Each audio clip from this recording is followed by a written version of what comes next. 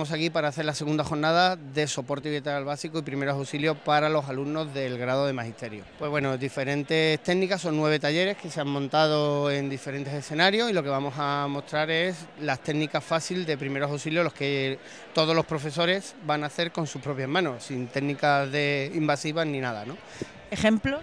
Por ejemplo, soporte vital básico puro y duro, que le llama a todo el mundo la RCP, ¿no? En este caso no la va a hacer la Policía Local de Segovia, puesto que Segovia está cardioprotegida por ellos, tienen 83 agentes formados y cuatro desfibriladores en movimiento en vehículos. Y bueno, ese es el primer taller. El segundo taller, eh, RCP pediátrica para los niños, atragantamiento en caso de un atragantamiento, una inmovilización con vendaje, una inmovilización con, otro, con otros medios más sofisticados que también se, bueno, que son férulas y cosas.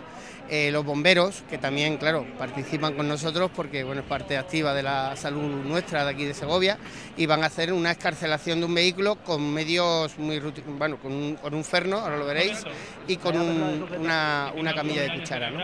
Y bueno, ¿qué más talleres tenemos? Tenemos otro taller que es enseñar a colocar un desfibrilador.